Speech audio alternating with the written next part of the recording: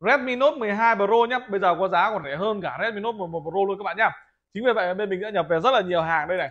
Và có đủ loại dung lượng luôn. Có 628 này. Giá chỉ hơn 5 triệu thôi.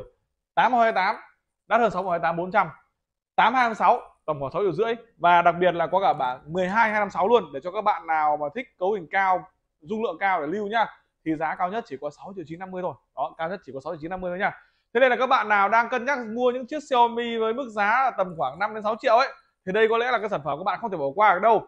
Mà bởi vì là màn hình nó rất là đẹp, màn hình cứ viền cầm màn hình sẽ mỏng hơn, nó Pro giá lại rất là rẻ nữa. Và điều đặc biệt ấy, thì bên mình bỏ hành những chiếc máy này lên đến 18 tháng luôn, cả nguồn hình các bạn sẽ không phải mua thêm bảo hành vàng đâu.